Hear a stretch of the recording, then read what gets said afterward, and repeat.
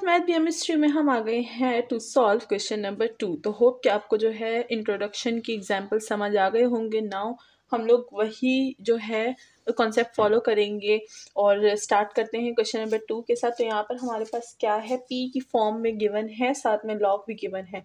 And lock को हमें पता है कि लॉक को किस तरह से हैंडल किया जाता है? विद एक्सपोनेंट ठीक है? तो लॉक को एक्सपोनेंट के साथ अगर हम लोग ले लें तो वो क्या हो जाता है? कैंसिल हो जाता है एंड हमारे पास इक्वेशन जो है वो ईजी हो जाती है. तो यहाँ पर भी हम लोग क्या करेंगे? बोथ साइड पे अप्लाई करेंगे एक्सपोनेंट ठीक है हमारे पास क्या हो जाएगा? हम लोग लिख देंगे अप्लाइंग ज़्यादातर जो है स्टेटमेंट्स लिखती नहीं हूँ तो आप लोग जो है लिखा करें इसको. या फिर नहीं भी लिखते तो भी हमें पता चलता है कि हमने ये अप्लाई किया है. Applying exponent on both sides तो हमारे पास क्या हो जाएगा? ये हो जाएगा हमारे पास ई e की power of p equal to e की पावर ऑफ़ लॉग ठीक है? एंड साथ में p of x minus of y अपनी जगह पे आ जाएगा। नाउ हमारे पास e और जो है एक्सपेरेंट और लॉग जो है दैट विल बी कैंसिल हमारे पास क्या आ जाएगा? यहाँ पर हमारे पास आ जाएगा, यहाँ पर पी था, ये आ जाएगा हमारे पास वाई ई की power of p equal to ये हो जाएगा p of x minus of y और इसी के साथ देखें, हमने क्या कर दिया? हमने कर दिया है जो है इक्वेशन को कैंसिल ये और ये कैंसिल हो गया हमारे पास एज इट इज़ ये जो चीज़ है वो आ गई है। एंड नाउ ये हमारे पास किस फॉर्म में लानी है हमने? इसको हमने लाना है चैल कैलरस इक्वेशन में, ठीक है? तो कैलरस इक्वेशन की फॉर्म में लाएँगे।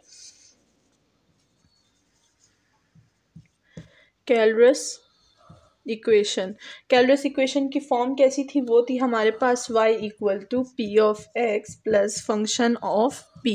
ठीक है? तो y की इक्वेशन में हमें फॉर्म लानी है। यहाँ पर अगर देखें हमें तो यहाँ पर हमें क्या करना है? y को उस साइड शिफ्ट कर देना है। e की पावर ऑफ़ p को इस साइड हम लोग शिफ्ट कर देंगे। सो so, ये क्या हो जाएगा? ये हो जाएगा y equal to p p of x minus e की power of p and last but not least step हम लोग क्या करते हैं कि पी को रिप्लेस कर देते हैं विथ सी तो पी को सी के साथ रिप्लेस कर देंगे। तो हमारे पास हमारा आंसर कैसे आ जाएगा? We will get the answer that is y equal to c of x minus e की power of c and that's all हमारे पास जो जनरल सोल्यूशन है, वो आ चुकी है। होप कि आपको ये जो है बहुत ही ईजी फॉर्म है, आपको समझ आ गई होगी। इसके बाद जो है, हमारे पास थोड़ा सा मुश्किल आता है, जो कि मैंने आपको बताया था reducible equation in the form of चेल मैं इसको चेलरस चेलरस बार बार बोल रही हूँ। कैलरस इक्वेशन चेलरस इक्वेशन भी बोल सकते हैं। जैसे कि मैं आपको बताती हूँ कि इसकी जो है काफ़ी ज़्यादा जो है अलग अलग फॉर्म के वो क्या होते हैं प्रोनाउंसिएशन होती है। तो आप चेलरस बोले कैलरस बोलें बस इक्वेशन यही यूज़ करना है ठीक है? एक दफ़ा हम लोग मैम को बोलते हैं कि मैम एक कोई नाम था हमें आ, हमारे ना आ, पता नहीं कौन सा सब्जेक्ट था उसमें अजीब सा नाम था उसका। तो उस इक्वेशन का। तो हम मैम को बोलते हैं कि प्रोफेसर हमें तो भाई ये जो है, इसका नाम नहीं आ रहा तो सर कहते हैं कि, बेटा आपने क्या करना है कि आपने ना यही थ्योरम अप्लाई करना है, बाकी नाम आपको पता हो ना हो, आपने थ्योरम यही अप्लाई करना है, ठीक है? आप नाम उसको कुछ भी बोल सकते हैं। फिर हमने खुद से उसको कोई नाम दिया था, और बहुत फ़नी नाम था। अब मुझे सही से याद नहीं कि वो नाम क्या था। तो नाम अब हम लोग आ गए हैं विथ क्वेश्चन नंबर थ्री तो इसमें हमें जो है दिया गया है x d y by d of x plus a d of x by d of y तो चलिए इसको सॉल्व करते हैं देखते हैं इसको कैसे सॉल्व करेंगे। तो यहाँ पर हमारे पास क्या हो जाएगी? आ, सबसे पहले हमें पता है कि d y by d of x क्या होता है। D y by d of x क्या होता है? वो होता है p and d x by d of y क्या होता है? वन बाई पी होता है। ये चीज़ें हम लोग पीछे इक्वेशन में पढ़ चुके हैं, यानी पीछे एक्सरसाइजेज में पढ़ चुके हैं तो हम लोग इसको एज इट इज़ यूज़ करेंगे अब, ठीक है? तो अब ये वाली जो चीज़ें हैं, सबसे पहले इसको यहाँ पर पुट कर देंगे, ये हो जाएगा y is equals to x d y by p and plus a by p तो देखिए, हमारी इक्वेशन कुछ इस फॉर्म में हो जाएगी, इसको हम लोग इक्वेशन नंबर वन और इसको हम लोग इक्वेशन नंबर टू बोल सकते हैं, ठीक है? ना इसको सॉल्व करेंगे। अब यहाँ पर अगर हम देखें, ये ऑलरेडी वाई में है, ठीक है? तो रिप्लेस करेंगे। रिप्लेस करेंगे p with c p with c ठीक है तो पी को सी के साथ रिप्लेस कर देंगे एंड हमारा जो इक्वेशन है वो सॉल्व हो जाएगा। तो ये हो जाएगा वाई इक्वल टू ये हो जाएगा x c plus a by c and that's all हमारी जो जनरल सोल्यूशन है, वो आ गई है। असल में ये वाले क्वेश्चन जो हैं, ये सिर्फ़ जो है, इसमें कैलरस इक्वेशन को हमने फॉर्म करना है तो ये काफ़ी ईजी है, ठीक है? तो इसीलिए ये जल्दी जल्दी सॉल्व हो रहे हैं। इसके बाद जो है, हमारे पास वो आ जाते हैं, हमारे पास कि किस चीज़ के? रिड्यूसिबल इक्वेशंस आएँगे तो वो थोड़े से फिर मुश्किल हो जाएँगे, ठीक है? उसमें फिर थोड़ा सा काम होगा, जैसे मैंने एग्ज़ाम्पल आपको करवाई थी उसकी। तो चलिए अब क्वेश्चन नंबर फोर की तरफ़ भी चले जाते हैं। इसको जल्दी जल्दी वाइंड अप करते हैं। तो हमारे पास है question number four p of y equal to p square x minus m plus of n तो चलिए देखते हैं इसको हम लोग कैलरस इक्वेशन में कैसे फॉर्म करेंगे। सबसे पहले अगर हम लोग देखें तो अगर हम इसको पी से डिवाइड कर देंगे तो वाई इक्वेशन बन जाएगी। तो हम लोग बोल देंगे डिवाइड बाय पी ठीक है? तो ये हो जाएगा हमारे पास y equal to p division में एक पी यहाँ से भी जो है, हमारे पास कैंसिल हो जाएगा, m प्लस एन ठीक है? अब देखें तो हमारे पास y की फॉर्म में है।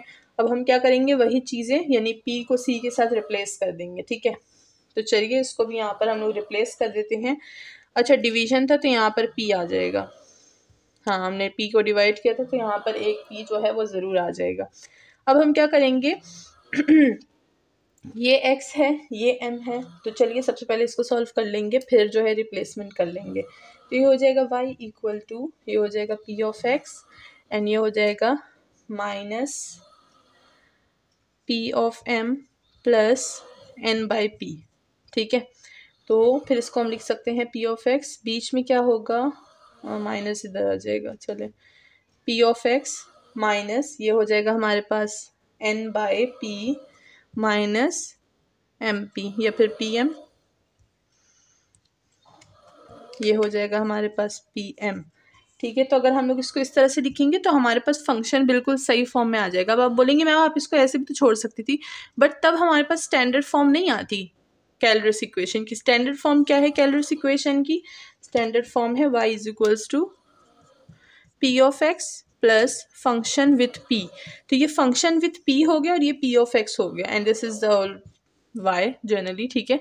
तो हम लोग ने इसलिए इसको यहाँ से सॉल्व किया ताकि ये फ़ंक्शन ऑफ़ पी बने, ये पी ऑफ़ एक्स बन जाए, ठीक है? तो थोड़ा सा ध्यान देना है, ऐसे ना आप जो है एक्साइटमेंट में जल्दी जल्दी एम ही सॉल्व कर लें, ठीक है? तो ध्यान रखिएगा इस बात का। है क्वेश्चन ईजी बट आपको थोड़ा सा जो है इसमें ध्यान रखना है, ठीक है? तो चलिए अब इसको हम लोग लास्ट जो है क्या बोलते हैं? आखिरी तड़का लगा लें तो ये हो जाएगा हमारे पास y इक्वल टू ये हो जाएगा c ऑफ़ x माइनस ये हो जाएगा n बाई सी माइनस ये हो जाएगा एम सी और this is the general answer ठीक है? इसी के साथ ही हमारा जनरल सोल्यूशन बन गया है in form of Clairaut's equation तो क्वेश्चन नंबर फोर भी सॉल्व हो गया है। नाउ चलते हैं विद क्वेश्चन नंबर फाइव मुझे लगता है ये एक्सरसाइज जल्दी जल्दी सॉल्व हो जाएगी। तो क्वेश्चन नंबर फाइव की तरफ़ चलते हैं।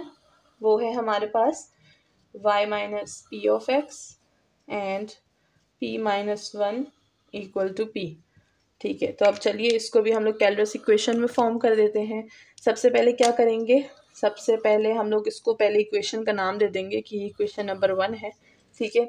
अब यहाँ पर जो है हम लोग ऐसा करते हैं कि p माइनस वन को हम लोग यहाँ पर ले आते हैं ताकि हमारी इक्वेशन जो है y में फॉर्म हो जाए, ठीक है? तो ये हो जाएगा y minus p of x अपनी जगह पे रह जाएगा। And this will be p this p minus one will be divided here so ये हो जाएगा p and p minus of one now we have to form this equation in y. तो y ये है ना? माइनस पी ऑफ़ एक्स क्या हो जाएगा? शिफ्ट हो जाएगा। So this will be y equal to p and p minus of one plus p of x. ठीक है? हमने काफ़ी ज़्यादा कोशिश की कि इसको हम लोग सॉल्व कर ले। पी ऑफ़ एक्स को अगर हम यहाँ लिखेंगे, इसको यहाँ लिखेंगे तो इट डजेंट मैटर तो हम लोग इसको बोल सकते हैं कि p of x plus p by p minus of one ठीक है? तो वाई इक्वल टू दिस और दिस अगर ये होगा तो कैलरस इक्वेशन की फॉर्म बनेगी तो हम लोग ये वाला यूज़ करेंगे। ठीक है? तो ये हो जाएगा हमारे पास y equal to p of x plus p by p minus of one and that's all अगर हम देखें तो हमारा जो आंसर है, वो आ चुका है। चलिए, अब हम लोग इसको क्या कर लेते हैं? सी में जो है चेंज कर लेते हैं। पी को रिप्लेस करेंगे विथ सी तो आपने ज़रूर लिखना है कि रिप्लेस पी विथ सी ठीक है तो ये हो जाएगा y equal to c of x plus c by c minus of one and इसी के साथ हमारी जो जनरल सोल्यूशन है वो आ चुकी है। होप कि आपको समझ आ गया होगा। यहाँ पर कोई भी ऐसे पॉइंट्स नहीं है जो काफ़ी मुश्किल है। सिंपल सिंपल से दो, तीन जो है स्टेप्स के पॉइंट होते हैं। तो इसी के साथ क्वेश्चन नंबर फाइव जो है वो भी वाइंड अप हो गया है।